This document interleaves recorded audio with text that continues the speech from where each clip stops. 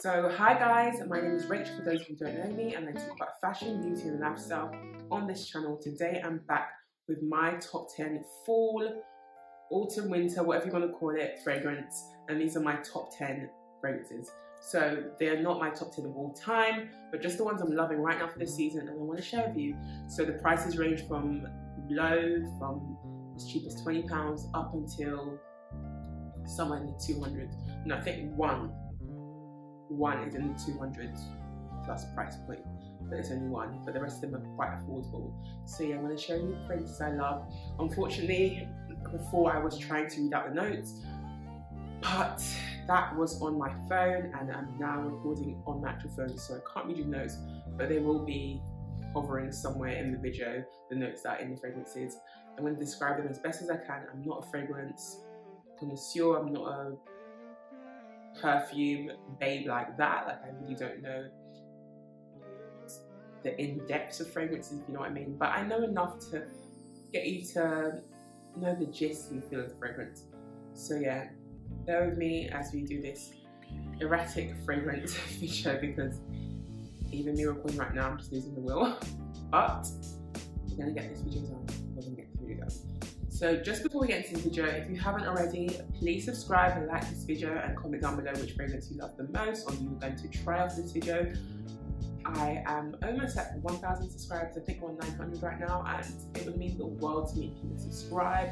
So hit that subscribe button and join this ever-growing family. It would mean the world to me. And with that, now let's get to this video. So the first fragrance I'm going to talk about that I'm loving for this season is the infamous Shaghaf Oud by Swiss Arabian. First of all, can we talk about this packaging, this bottle? This perfume has featured on my channel so many times for recommendations or in fragrances. Like, it's just a great, great, great fragrance. It is probably my most powerful fragrance. I believe so. Like, it's very, very potent, very um, strong. Like, this projects like no other. It will kick in your face. You do not need anything more maximum than three sprays. If not, you're gonna knock yourself out. So just be cautious when you are spraying this because it's not one of those no no no honey you will literally knock yourself out and you'll knock everyone else around you out so two to three sprays is just enough um, and yeah it's such a beautiful sweet food. a lot of people have compared this to the Lancome Oud Bouquet which I have smelled before and I personally didn't like it. But this I loved and I have heard that people prefer this over Lancome's Oud Bouquet because this obviously is not as expensive as that one and the notes just tend to, the fragrance tends to stay the same on the um, skin whereas the Oud Bouquet develops as time goes by. But because this is a bit cheaper I think there isn't as much um, organic materials in this the scent pretty much stays the same it doesn't really develop much from when you first initially spray it but I love that about it because I love the initial spray and I just love the continuous, the, continuous of that scent throughout the day. And again, great, great unisex perfume, so beautiful, just so great for the winter time and autumn time. I wouldn't wear this at summertime because it's very, very um, strong, very potent, has great projection. But again, with the heat, I don't know if you're gonna like that combination. So this is why I recommended this heavily for the winter and autumn time because you want to feel warm, you want to feel wrapped up in the cocoon, and this fragrance does just that. And again, it is an amazing, inexpensive oud. I picked this up on Amazon. Like you can't beat this price with a stick. There are so many ouds going up for so, so, such ridiculous prices. And oud is a very expensive um, ingredient. I do know that. But if you can get that, that you know, feel for less, why not? So definitely.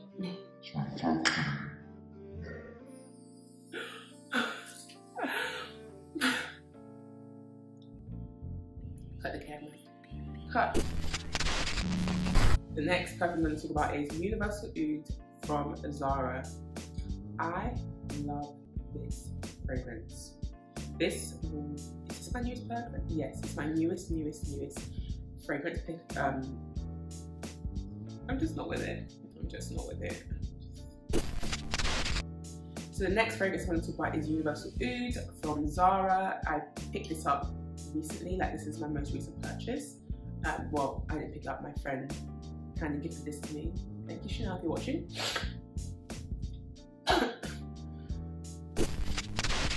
So my friend kind of gifted this to me, and I've seen a lot of hype about this fragrance, and I must say, it definitely is worth the hype. It is a dupe, I believe, for Christian Dior Isfahan. I believe that's how you pronounce it. Yeah, already done a lot of designer dupes, and this is definitely a dupe of that one, in my opinion. And just a gorgeous oud. For Zara's first oud, I believe, I think this is their first oud fragrance. They've done a very, very, very good job. It is unisex in my opinion. It is called Universal Oud, but to me it is great on male or female. It doesn't lean to me more masculine or more, men, more feminine. It's just a great stunning oud. I do like to lay this fragrance with um, something sweet, for example, Sweet Diamond by um, Kayali. Something that's just has a sweet gourmand scent to it because I can find the dried on this is a bit bitter for me. Um, and I because it is Zara and it is lacking depth, the actual fragrance, I do think it needs something to be added to it. So just bear that in mind. But again, it's £20 for Zara's first oud. I think it's amazing. It does give you all the rich antibiotics, which I'm here for always. But yeah, for £20 you can't beat this with a stick. And if you are trying to get to ouds without breaking the bank, definitely try this or the other ouds I talk about in this video. The last oud I'm going to talk about is Fakhrul Oud by a brand called Al Aniq. I This scent, it is again sweet. I believe in this um in this bottle there is vanilla, and I think anything with vanilla in, I just love. But vanilla mixed with oud, like this does something to me. Like everyone I've made smell this absolutely loves this. Like they cannot get enough of it. They actually prefer it over Shaghaf Oud, if I'm being honest. Like everyone I have made smell this prefers this over Shaghaf Oud. So I would personally say if you're wondering which one to get out of the two, get Fakhrul Oud. Actually, it's just been tried and tested. It's not as strong as Shaghaf Oud, so if you're someone who doesn't like, you know, fragrances to punch in your face and for everyone to smell you, then maybe don't get Shaghaf Oud, but this is a great, great, great oud. It was a blind buy. I had never smelled it before, and I saw the reviews and everyone was raving about it. So I picked up Fakhrul Oud and I do not regret it. So definitely, if you can, get your hands on this. It was from Amazon again. Very, very affordable again, in my opinion, like £30 or under. So for me, if you're trying to um, get into ouds, these are great. The options I've just sent to you, the options I've just told you about are just great because they're not um, expensive and you can afford to not like them compared to some other houses where if you buy them blind buy you literally feel nauseous if you don't like it because it's so expensive. So yeah, I love this. So the next fragrance I'm going to talk about is YSL Black Opium Intense. This is the intense version. Now I picked this up in 50 ml and Black Opium is such a legendary scent. Like I think most perfume lovers or fragrance fanatics have this. Um, this is the intense version. I used to have the old version, not the old version, but the just standard black opium um, version. But I wanted something different and I heard a lot about the intense and to me, they smell very similar, but it's just how it's on my skin personally when I can tell the difference. And the story behind this, which I believe I have shared is I tested this out in Boots and a lady, and on the back of my hand, and a lady walked past me and could it and chased me and was like, what are you wearing? Like, she was chasing me like a kid, like, excuse me, stop, what are you wearing? And I was like, okay, if you love it like this for me, then I'm gonna try it because for me, I'm very big on compliments when it comes to fragrances. That's like the best thing you can tell me. Tell me I'm beautiful, cool. Tell me you love how I smell, you made my day. So yeah, when she chased me down because of this scent, I said, yeah, I gotta buy this because clearly it goes well with my body chemistry. So that's the story behind this one. And I just feel like the intense version is definitely uniquer. Um, if you are bored of black opium, maybe try the intense version, you might like it. I love any fragrance that's intense. It just projects more, lasts longer, and I do feel like this lasts a long time on me. I felt like the original Black Opium lasts a long time on me as well, but this just slight um, it, it's just a just a more longevity for me. And yeah, great scent. Again, the notes will be somewhere in this video. And yeah, definitely would recommend Black Opium Intense if you're kind of bored of the original Black Opium and want something new in your collection. So now I'm going to talk about my oh, Chef's Kiss, the, the most expensive perfume in my collection. It is Santal Noir. Oof. This scent. This scent. From the first day I smelled this perfume, I said, I have to have it. It is still my favorite fragrance in my entire collection. Like to me, it's very great for autumn, winter time because it projects like no other. I know I talked about my Swiss Arabian and Shaghaf Oud, but this is probably a close number two when it comes to projection and longevity. This lasts, do you know what? Shaghaf Oud projects more, but this lasts on my clothes and on me more than any perfume I have. And I'm glad it does because it is the most expensive, but it lasts on my skin for ages. Like if I didn't shower, I feel like it would last on my skin like three days. That's just me imagine that because I don't ever go that long without showering. but I can just imagine it does because this thing, it does not move. Like you can smell this on you throughout the entire day strongly. Not like, know, like you have to really smell yourself to get whiffed of it. No. You will smell this on you throughout the whole day. And especially on your clothes, oh yeah. This is all you're going to be This is all all you're going to be smelling. So yeah, you don't need a lot of sprays of this, and again, it is expensive, so don't spray too much. But, honey, you're going to be that it girl. I get so many compliments on Santal Noir.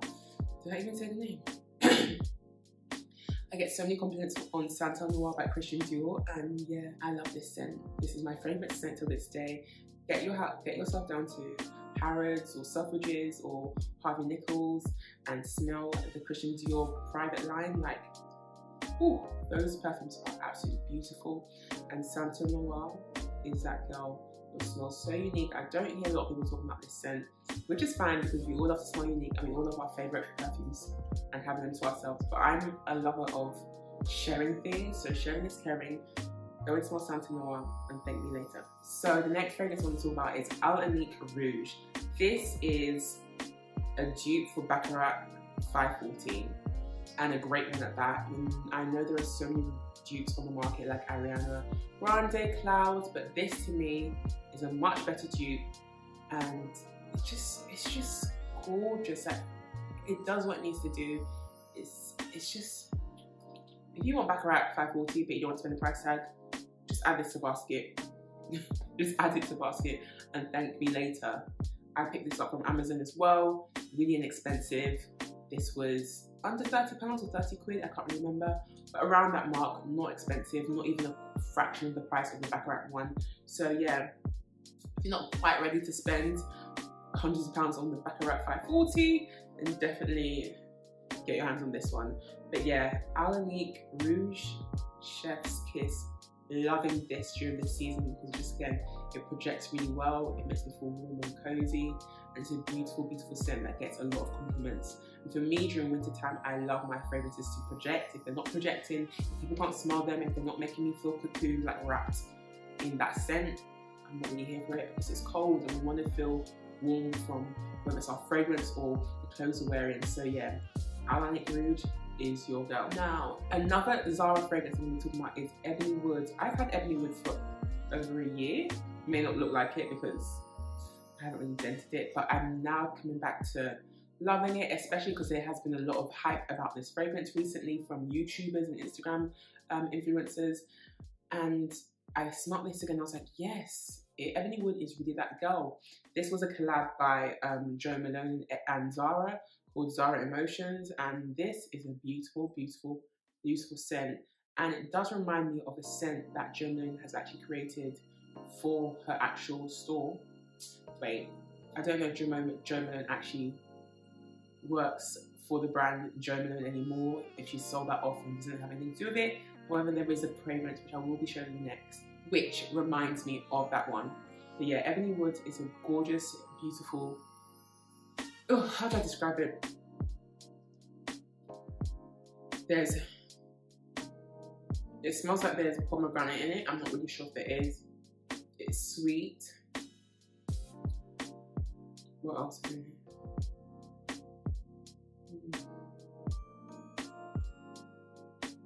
Obviously it's woody as well. It's just a great, gorgeous perfume. Like, get your hands on it. It's under 20 pounds, especially for the small bottle.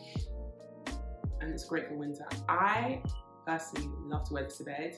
I know a lot of people are like, bed? Bed? You can wear this out, of course, it's gorgeous. I've got so many compliments on this, especially when I wear this out. But for nighttime, I like to feel cozy and something that's not too overpowering. And I don't feel like this is too overpowering to spray lightly.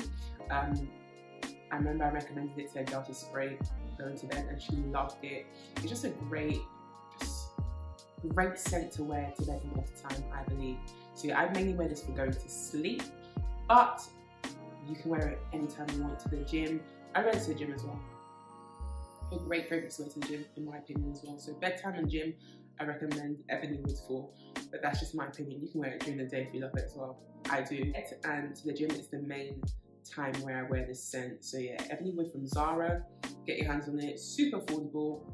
It doesn't break the bank. Next fragrance I'm going to talk about is YSL Libre Intense. Ooh, Libre Intense. I've had this for over a year. Such a signature YSL fragrance. Look at the packaging. Look at this bottle. Can we talk about this bottle? Like, gorgeous. YSL Libre. If you haven't got this in your collection already, what are you doing?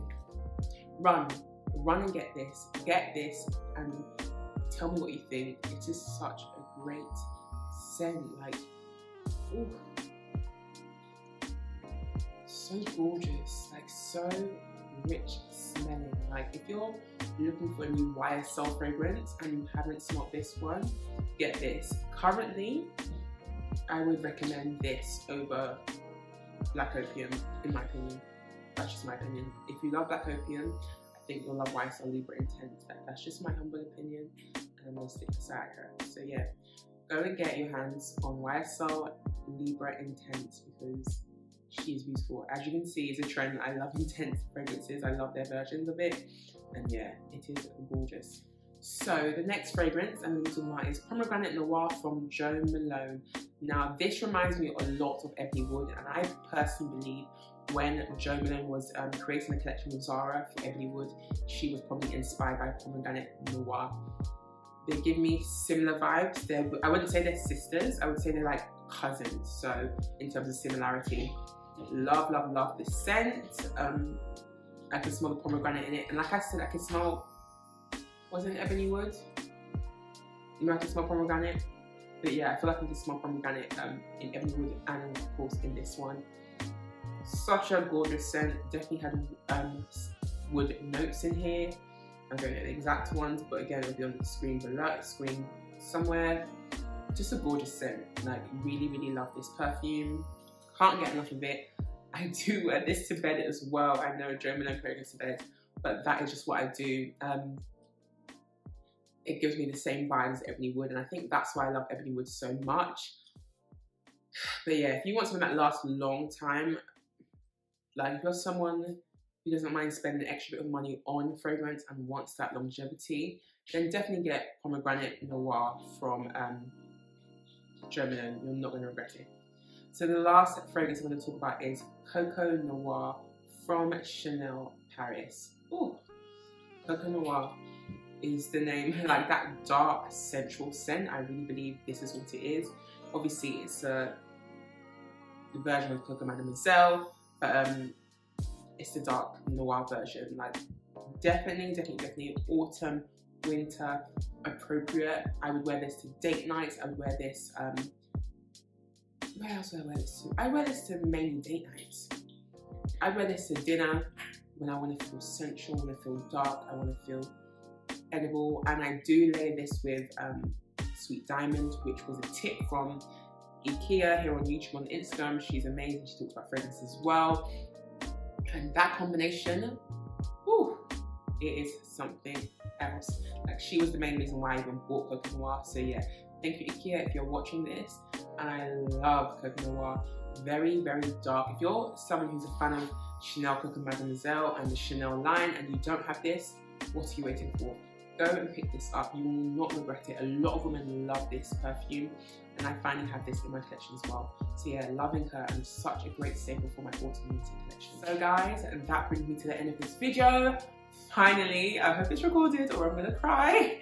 But thank you guys for watching this video. I hope it wasn't all over the place because I'm all over the place right now because it has been a war to get this video done, but we've made it to the end. Thank you guys for watching. Leave a comment down below which fragrance you love, already have, or you're gonna try now because of this video. Remember to subscribe, we're on the road to 1K. It would mean the world to me if you would subscribe, and I will see you in my next video. Bye, my loves.